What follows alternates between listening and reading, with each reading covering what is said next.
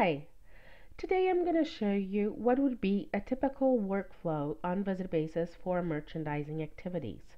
So first we're going to create a merchandising task, then we're going to assign uh, the task to a specific visit for a rep, and then we will perform uh, the task as if we were the rep at the point of sale and you will see the results. So this is the uh, task summary that I have received. This is a planogram audit task and this would be a typical task for merchandising. So I'm going to do, I'm going to fill in um, the task information on VisitBasis. So I just copy this here.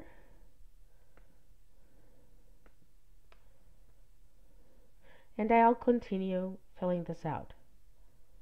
This will be for my confections division and tags I can put merchandising. There is no specific item, so no specific product that I'm talking about, but here I'm going to put my actions. So it is very easy with this copy to Excel feature, just the, to copy the actions from Word in this case, paste here, then I go back to grid view, and already have my actions here. Take a picture of the current POS, so this is a photo. Um, answer type, compare current shelving with planogram, attach planogram image to task for comparison. So here, uh, I'm going to add an attachment, and add, and here I'm going to attach my planogram.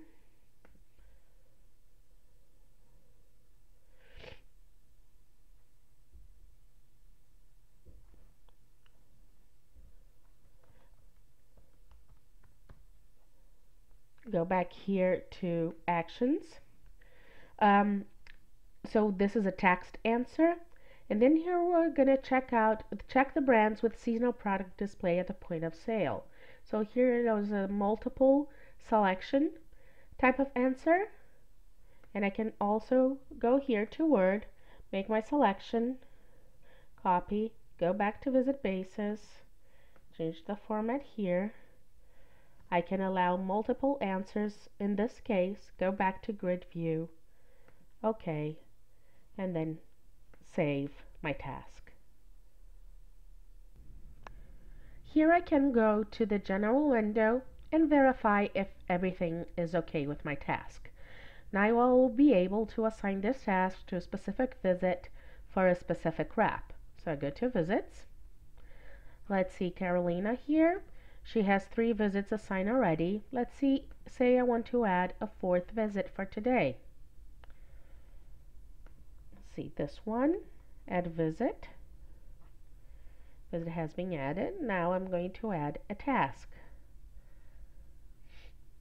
And it's the planogram audit task to this visit. So I add task. Okay, so now I have requested Carolina to perform this task. Now, when Carolina opens her phone, you will see here the visit that we just set up. You will see here the planogram audit task. For her to perform the task, she go to view task. It's going to take a picture of the current planogram.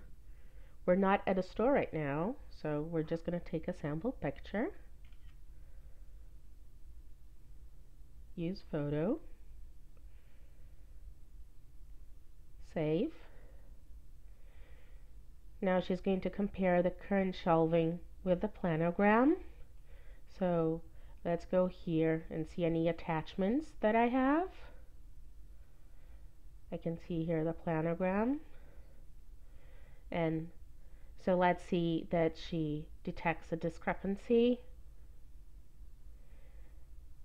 and she's going to tell me that um, dark chocolate is out of stock.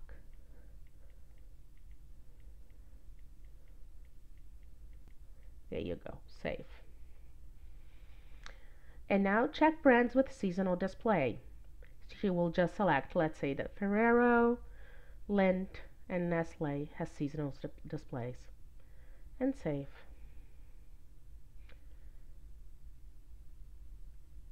Okay, she has completed her task at the customer we had assigned.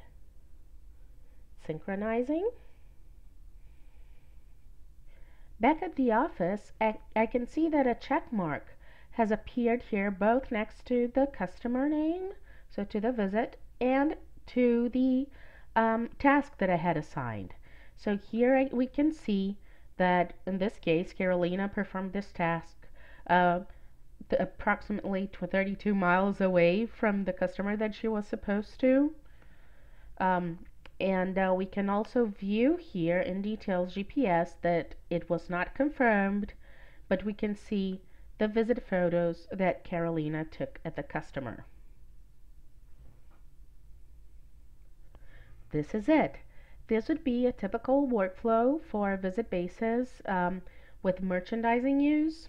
Uh, should you have any questions, just refer to www.visitbasis.com where you can also set up a free account and start using VisitBasis now. Thank you and have a great day.